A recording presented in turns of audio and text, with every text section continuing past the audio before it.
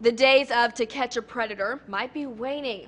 Researchers in the Netherlands have created a safer alternative to rounding up men who prey on young girls through the internet.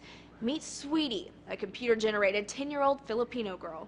Every day I have to sit in front of the webcam and talk to men, just like tens of thousands of other kids. The men ask me to take off my clothes. They undress, they play with themselves. They want me play with myself. Researchers say Sweetie was swamped daily by thousands of men looking for contact with her through webcams and willing to pay for it. As soon as I go online, they come to me. But what they don't know,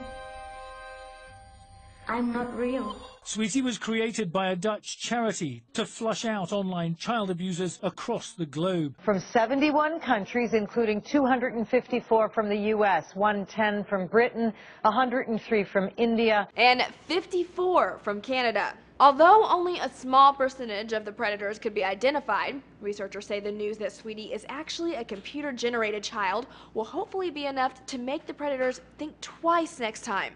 We're now dealing with tens of thousands of children who are victims of this new phenomenon. So there's definitely an increase because two, three years ago, there were none.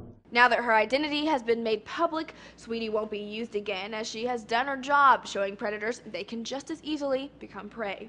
However, the organization that created Sweetie has launched an international campaign to try to help children forced into the webcam child sex tourism trade. For Newsy, I'm Jasmine Bailey.